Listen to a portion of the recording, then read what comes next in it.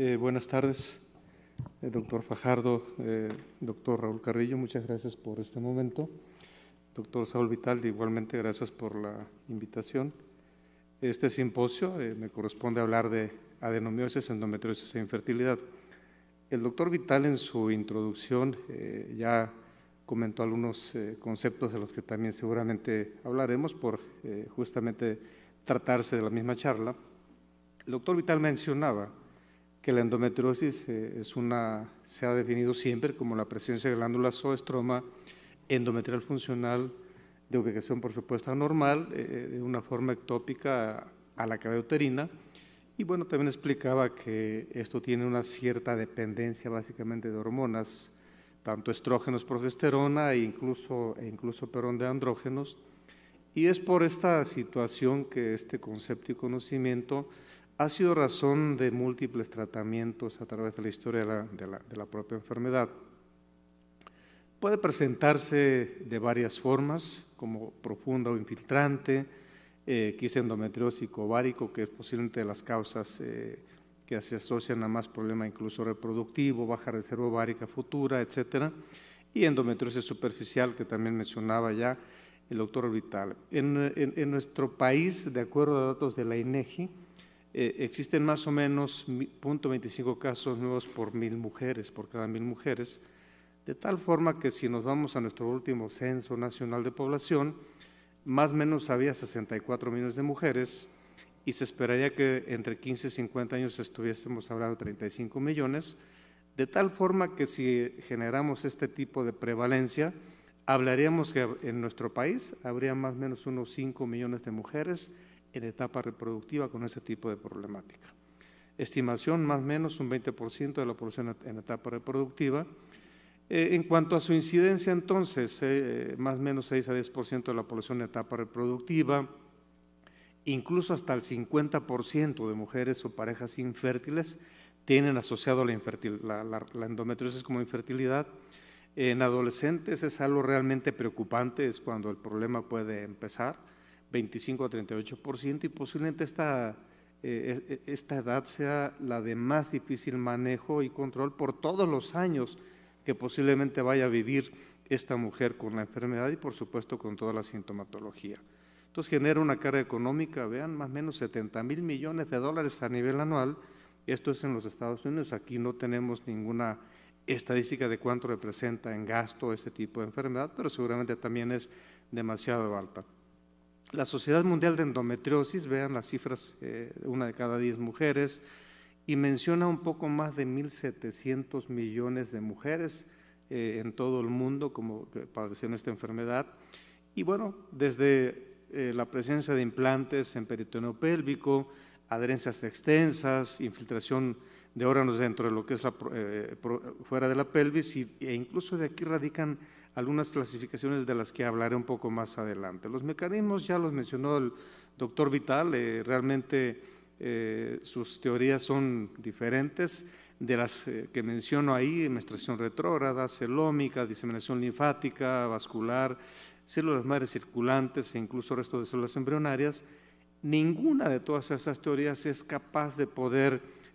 por sí misma dar una idea o una realidad de por qué existe la endometriosis. Entonces, eh, lo que sí sabemos es que la enfermedad se, encuentra desde etapas embrionarias o fetales. Aquí podemos ver a las 35 semanas, a las 25 semanas, a las 18 semanas. Esto quiere decir que, que todo el mundo es todas las mujeres posiblemente tengan la enfermedad, pero no todas la manifiesten como ocurre en este tipo de patología.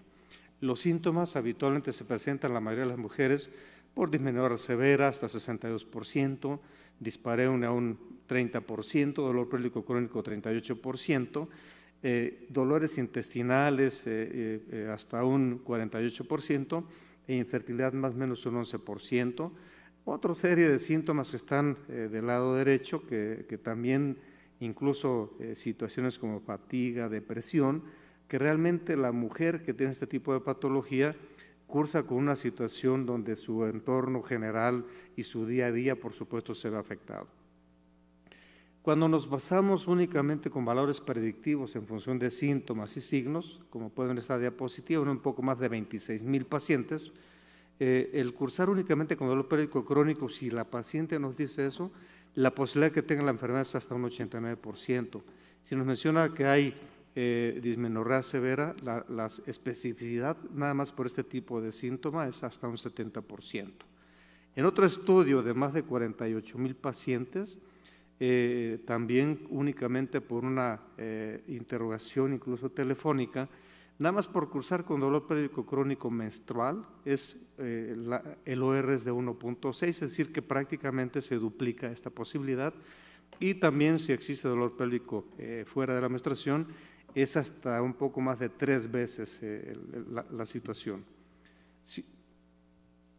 Si, nos basamos también en los hallazgos laparoscópicos o visualización directa, esa por laparoscopía o por eh, cirugía abierta, eh, el tener, por ejemplo, historia de cirugía pélvica por endometriosis eleva el OR es 14.5 veces, por dolor pélvico es 4.1, es decir, el historial de la paciente también es determinante para poder definir la posibilidad de presencia en la enfermedad. La dismenorrea también, hasta eh, eh, es este, este, problema por sí mismo, si hacemos una laparoscopía, hasta un 79% de las veces podemos encontrar la enfermedad. En este otro estudio, eh, también basado en, hallazgos directos, quirúrgicos, el tener un incremento de dolor pélvico crónico tiene una endometriosis del 44.2% y dolor pélvico cíclico hasta un 50%. De tal forma entonces que los escenarios clínicos pueden ser variados. Pacientes sin síntomas puede haber, por supuesto. Hemos encontrado eh, mujeres gestantes con embarazos a término y con endometriosis incluso activa que realmente nunca manifestaron la enfermedad. Podemos encontrar entonces con o sin síntomas e incluso con dolores pélvicos.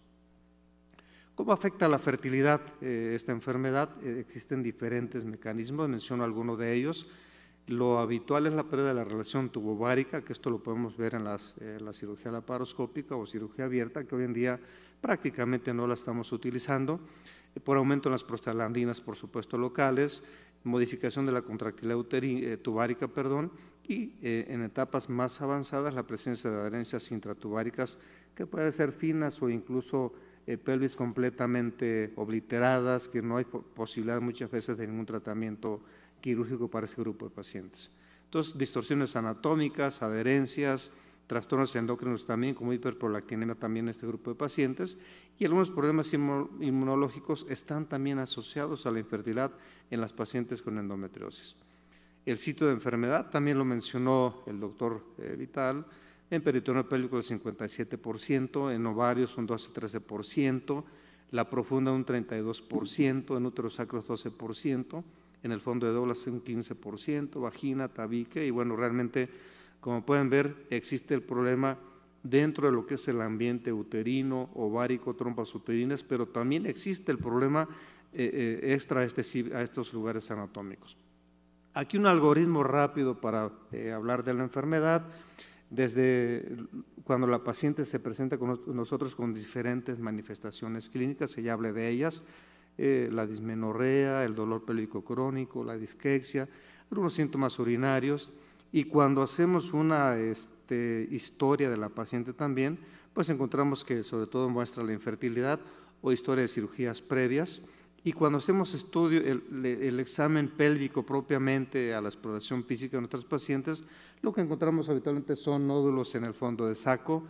esa dificultad para movilizar el útero que representa muchas veces la presencia de adherencias ya propiamente eh, comentadas. Y, y, por supuesto cuando hacemos estudios de gabinete, hoy en día el ultrasonido, sobre todo el transvaginal, o la resonancia magnética, que son estudios hoy muy finos que nos permiten hacer diagnósticos sin tener que eh, hacer cirugías para, para el diagnóstico de, este grupo de pacientes, recordando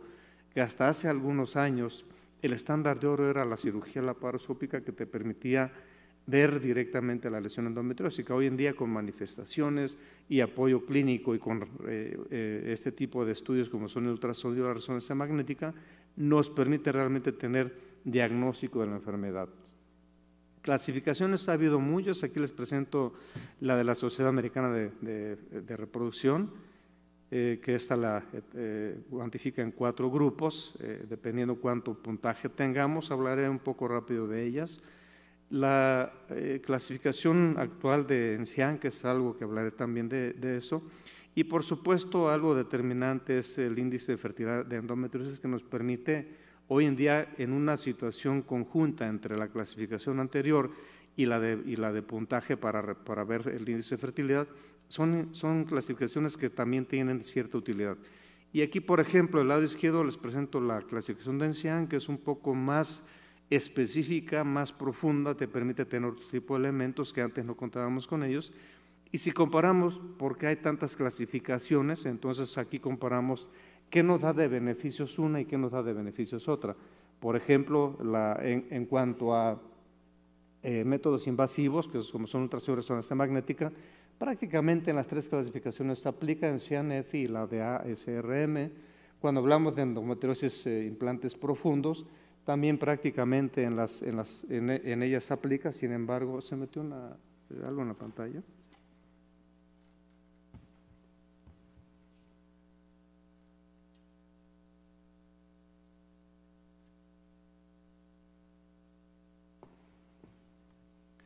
Entonces, cuando hablamos de, de, esa cirugía compleja, por ejemplo, la clasificación de anciante permite saber incluso hasta cuánto tiempo puede estar en una cirugía. La correlación con la infertilidad, aquí eh, la, DEFI es la que más eh, se aproxima para dar un índice reproductivo en este grupo de pacientes. Y por último, la correlación con síntomas, la que más eh, se acerca a ello es la clasificación de anciano. Esta clasificación, como les menciono entonces, es el primer sistema integral que describe la endometriosis de manera más completa posible y por supuesto proporciona una herramienta, como les mencionaba, útil para diversos procedimientos de diagnóstico y por supuesto también para establecer un tratamiento quirúrgico en ese grupo de pacientes. Entonces, esta, la codificación tiene entonces eh, estructuras anatómicas afectadas, como mencioné hace un momento, y sobre todo esto que la posibilidad de utilizar la clasificación también en este contexto permite estudios invasivos, como son la resonancia y el ultrasonido. Entonces, es una clasificación que tiene hoy en día una buena aplicabilidad y alta precisión en cuanto a la reproductividad de, lo que es los hallazgos incluso, y nos permite ir con gente muy experta, un ultrasonido transvaginal que le, llaman contrastado, te permite realmente establecer el, el problema donde se encuentra e incluso qué tipo de cirugía tendrías que hacer en este grupo de pacientes.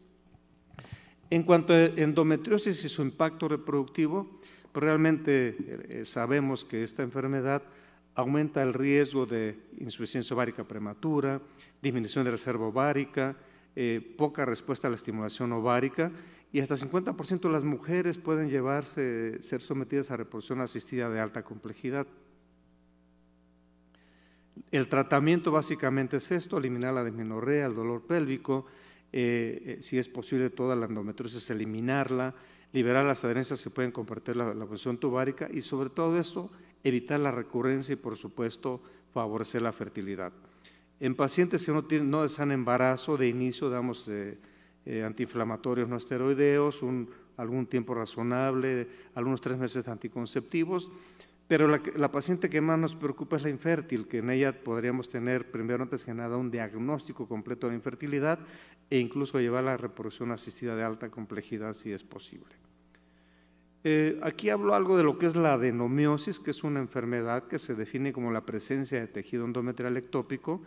eh, dentro del propio miometrio.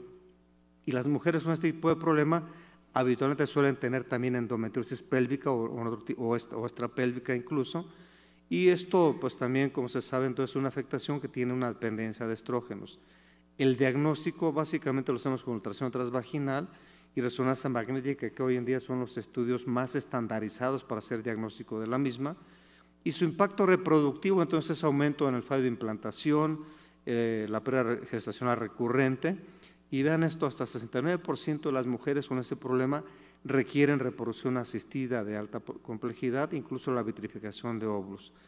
Cuando hacemos cirugía, eh, en, la parte que dice la paroscopía con triple flap, que es un triple colgajo, es la que más eh, resultados eh, favorece. La tasa de nacimiento es más o menos 53%, sin embargo también existe una tasa de aborto que es hasta de un 12%. Cuando manejamos eh, análogos del GNRH, como pueden ver, el utilizar después de cirugía GNRH análogos eleva también las tasas de embarazo espontáneo y las de embarazado término. Sin embargo, como pueden ver en, la, última gráfica, eh, la tasa de abortos, a pesar de ese tipo de alternativas, sigue existiendo. En esta gráfica quiero mostrarles entonces que en reproducción asistida en in vitro,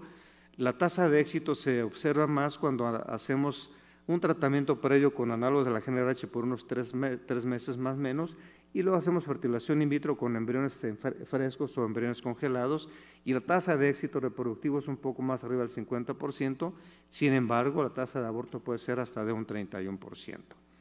Entonces mencionaba que otras alternativas aquí, vitrificación de ovocitos, eh, tiene un mejor costo-beneficio, vitrificación de embriones, solamente que aquí, bueno, muchas veces la pareja tendría que mantener, por supuesto, digo, la mujer tendría que mantener a su pareja y la criopresación de tejido ovárico es una alternativa también, pero tiene un mayor riesgo de complicaciones. Aquí les presento rápido un, un, un trabajo presentado por el grupo francés, donde llega la paciente con infertilidad asociada a endometriosis, lo que tenemos que hacer primero es definir su reserva ovárica basada en edad sobre todo. Entonces, si nos vamos, entonces encontramos que podemos llevar a nuestras pacientes a reproducción asistida de alta complejidad, o si hay condiciones, tenemos, podemos llevar a la cirugía, espera de algún tiempo reproductivo y, por supuesto, hasta buscar el embarazo. Entonces, eh, e, esto es lo que yo quería platicar con ustedes esta tarde. Nuevamente, muchas gracias por su presencia.